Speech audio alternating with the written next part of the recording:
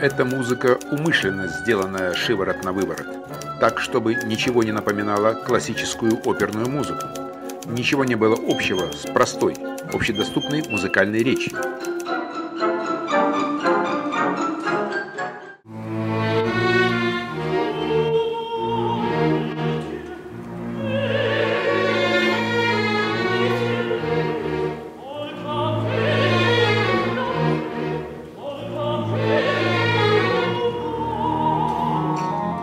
Сама опера очень такая пластичная, мягкая.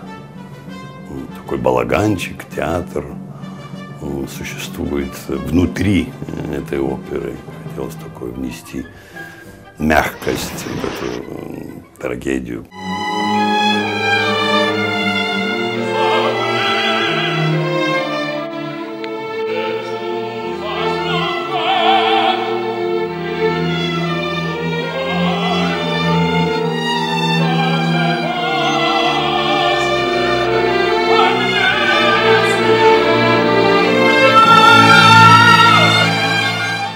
Я уже много лет пою леди Макбет на разных сценах мира. Другую, героиню Верди. Здесь совсем иная музыка. Но и здесь у Шостаковича тоже страсть, тоже одержимость. Невыносимость, если можно так сказать. Даже сейчас, когда говорю мороз, мурашки по коже, дрожь. Думаю, у зрителя должно быть тоже ощущение.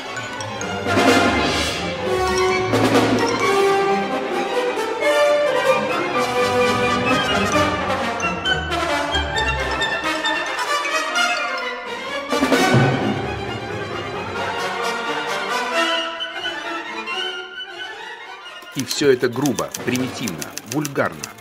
Музыка крякает, ухает, пыхтит, задыхается, чтобы как можно натуральнее изобразить любовные сцены. И любовь размазана во всей опере в самой вульгарной форме.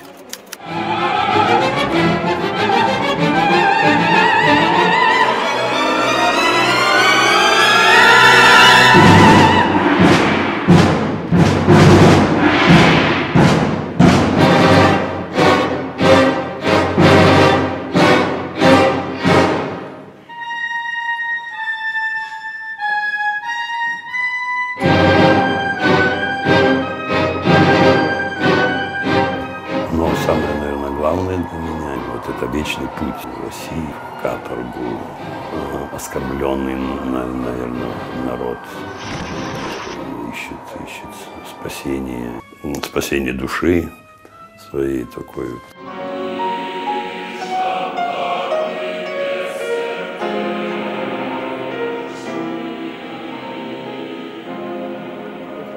Я слышала, что эта опера трудно выходила в России. Ее тут даже запрещали.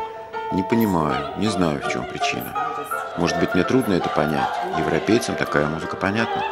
Но я хочу петь по-русски, не просто русскими словами. Понять эту русскую натуру, характер, личность. Леди Макбет имеет успех у буржуазной публики за границей. Не потому ли похваливает ее буржуазная публика, что опера эта сумбурна и абсолютно аполитична. Газета «Правда», 28 января 1936 года. Какая будет статья? Какой приговор? Какой приговор и опере, и мне? Конечно, последние недели выжить и вытерпеть. Жду только приговора.